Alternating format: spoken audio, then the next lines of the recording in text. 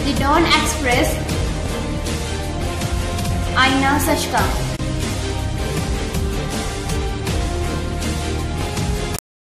मैं Sanjeev Goswami the Don Express में आपका स्वागत है। अंतर्राष्ट्रीय महिला दिवस अभी कुछ घंटे ही बाकी हैं।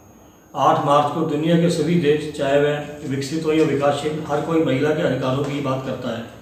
लेकिन कुछ लोगों के लिए आज भी महिला दिवस के, महिला दिवस के कोई मायने नहीं है। उनके लिए महिला दिवस सिर्फ़ छुट्टी का दिन है। औरतों के सामाजिक, राजनीतिक और आर्थिक अधिकारों के बारे या फिर औरतों की तरक्की के अलग अलग पहलुओं पर बात करना तो बहुत दूर की बात है। बहुत से लोग नहीं जानते कि महिला दिवस क्यों मनाया जाता है। क्योंकि जब भी हम किसी दिन को ख़ास तौर पर मनाते हैं तो उसका एक इतिहास होता है।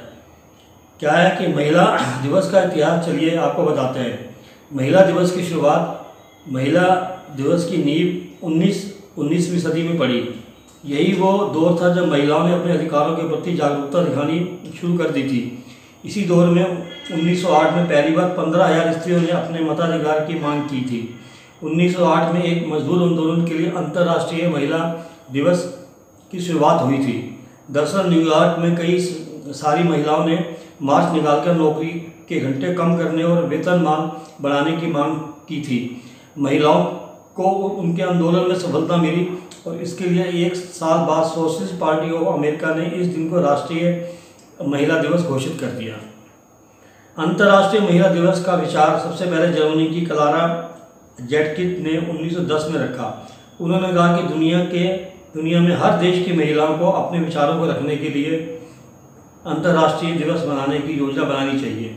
इसके मद्देनज़र एक सम्मेलन सम्मेलन का आयोजन किया गया, जिसमें सत्रह सत्रह देशों की सौ महिलाओं ने भाग लिया और अंतर्राष्ट्रीय महिला दिवस मनाने पर सहमति व्यक्त की। इसके बाद 19 मार्च 1911 को ऑस्ट्रेलिया, डेनमार्क, जर्मनी और स्विट्जरलैंड में अंतर्राष्ट्रीय महिला दिवस मनाया गया। कहा जाता है कि 1917 में पहले विश्व युद्ध के दौरान रूस ने महिलाओं ने ब्रेड और पीस के लिए हड़ताल की थी।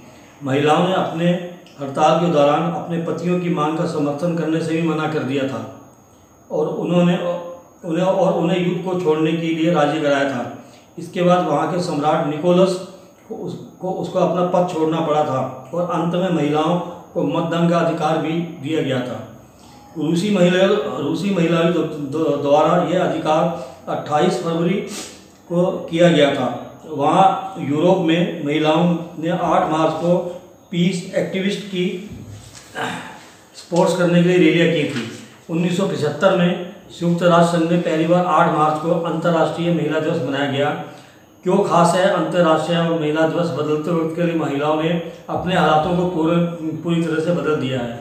महिलाओं की नई पहचान की पूरी दुनिया ने सराहना की है। अंतर्राष्ट्रीय महिला दिवस मुख्य रूप से महिला, महिलाओं द्वारा अलग अलग क्षेत्रों में अपने योगदान के लिए मनाया जाता है। इसके अलावा महिलाओं को लेकर समाज के लोगों को जागरूक करने, महिलाओं को उनके अधिकारों के लिए जागरूक करने और उन्हें प्रेरित करने के लिए ये दिवस बेहद महत्वपूर्ण मनाया जाता है। इसी कारण हर साल महिला दिवस पर अलग अलग थीम रखी जाती है। भारत की वो सात लेखा, लेखिका जिन्होंने जिनकी कलम ने हिंदी साहित्य में कर दिया था कमाल। अमृता प्रीतम वो लेने याद आती हैं। जहाँ भी आज़ाद रूह की झलक पड़े, समझना वे घर है हमारा मेरा। गरम घुट एक तुम भी पीना, गरम घुट एक मैं भी पी लूँ। उम्र की उम्र की ग्रीष्म हमने बिता दिया, उम्र का शीशा नहीं बीतता। आ साजन, आज बात कर ले।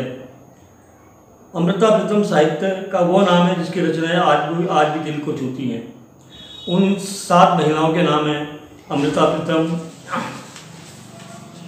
अरुंधति राय इसमत चुगताई शोभा डे शिवानी सोज और महादेवी वर्मा। एक समय था जब किसी भी काम के लिए महिलाओं को अक्षम समझा जाता था। लेकिन जैसे जैसे समय बदला वैसे वैसे महिलाओं को सभी क्षेत्र में कामयाबी हासिल होती जा रही है। आज का दौर ऐसा है जहाँ महिलाएँ पुरुष से कंधा कंधे से कंधा मिलाकर चल रही हैं। यहाँ तक कि महिलाएँ आज भी कई क्षेत्रों में पुरुष से आगे निकल गई हैं।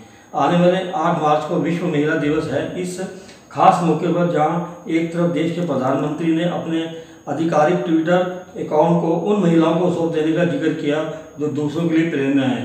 वहीं महिलाओं को बढ़ाने के लिए रेल मंत्रालय ने कई महिला कर्मचारियों को तैनात किया है। रेलवे स्टेशन पर कुली के तौर पर काम कर रही महिलाओं पर भी सरकार ने ध्यान दिया है। रेल मंत्रालय की तरफ़ से देश के अलग अलग हिस्सों में काम कर रही महिला कुलियों की तस्वीरें शेयर की गई हैं। की गई हैं। इसी इसी क्षेत्र में, इसी, आठ मार्च को महिला दिवस पे नागपुर के बुल्ढाना में जिला प्रशासन ने सरकारी विद्यालयों की मेधावी छात्रों के आत्म आत्मविश्वास को बढ़ाने के लिए, उन्हें बेहतर प्रदर्शन करने के लिए, प्रेरित करने के लिए, एक दिन के लिए, एक दिन के लिए कलेक्टर कलेक्टर के रूप में कार्य करने का अवसर दिया है।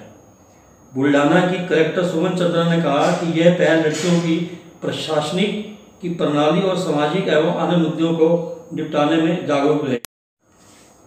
चंद्रा ने कहा कि इस पहल के तहत जिला परिषद के विद्यालयों की उत्कृष्ट और मेधावी लड़कियों को शासन के प्रत्यक्ष अनुभव के लिए एक दिन के लिए कलेक्टर बनने और और, और उन्हें कुर्सी पर बैठने का अवसर दिया जा रहा है।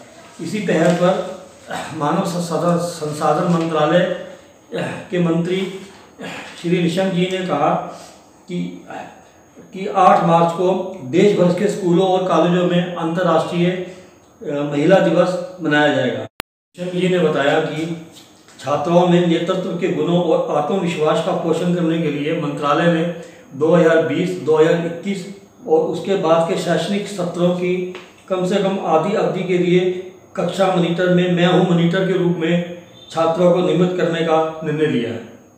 धन्यवाद। मैं संजीव गोस्वामी, द डॉन